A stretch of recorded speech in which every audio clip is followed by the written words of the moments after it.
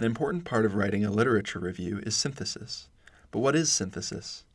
Well, synthesis is kind of like a puzzle. It requires you to put together different pieces of research from multiple sources to form a new picture. Depending on how you organize the pieces, the story you tell will look a little different.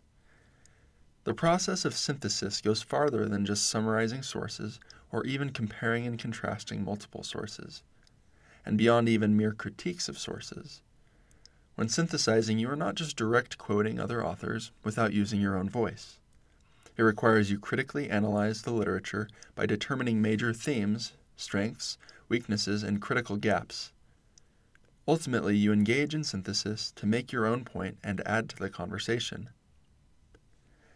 As you read article after article for your literature review, you should start to see the conversations surrounding your topic.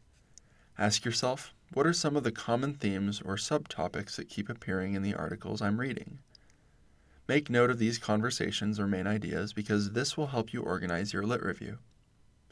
Instead of organizing your lit review source by source, like in an annotated bibliography, synthesis requires you to organize idea by idea. What is the conversation surrounding the main idea? To really know that conversation, you need to have looked at it from multiple perspectives, or sources.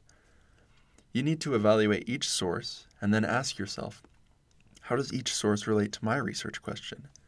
Jot down those thoughts as you go. The sources you choose to include, your analysis, and how you organize them in a meaningful way make your literature review unique.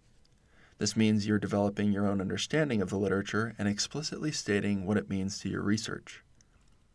A helpful tool you can use to engage in synthesis is a research matrix, which helps you begin to organize by idea and then add your own thoughts as you read articles. If you need help with your literature review, ask a librarian.